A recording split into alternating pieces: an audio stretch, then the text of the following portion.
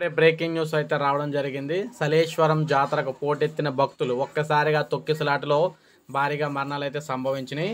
నల్లమల్లోని లోతట్టు అభయారణ్యంలో జరిగే సలేశ్వరం జాతరలో విషాదం చోటు చేసుకుంది. జాతరకు భక్తులు పోటెత్తడంతో తొక్కిసలాటలో ఇద్దరు మృతి చెందారు. ఆ సంఖ్య ఇప్పుడు మూడు కూడా పెరిగింది.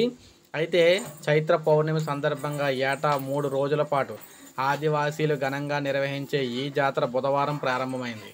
శుక్రవారం వరకు జాతర నిర్వహించేందుకు అటవీశాఖ అనుమతులు ఇచ్చింది. ఇక్కడికి తెలుగు రాష్ట్రాలు సహా ఇతర ప్రాంతాల నుంచి లక్షల సంఖ్యలో భక్తులు తరలి వస్తూ ఉంటారు. ప్రస్తుతం రద్దీ పెరగటంతో ఆలయంతో పాటు అక్కడికి వెళ్ళే దారిలో భారీగా భక్తులు కిటకర్లాడుతూ ఉన్నారు. దీంతో ఆ దారిలో రాకపోకలు స్తంభింపజేశాయి.